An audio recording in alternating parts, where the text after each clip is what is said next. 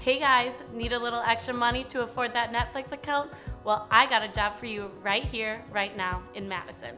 Hi, I'm Meg and I'm a UW student, but I'm also a caregiver at Comfort Keepers. I love my job at Comfort Keepers for so many reasons.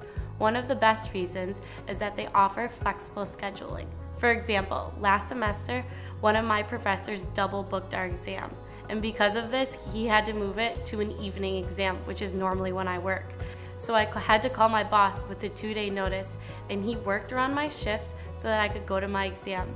My boss definitely cares about me and understands how important college is. If you feel like this is a job that you can be passionate about, I highly recommend that you apply today. Not only does Comfort Keepers offer flexible scheduling and so many more benefits, but you get to go home every night realizing that you helped someone feel comfortable in their own home.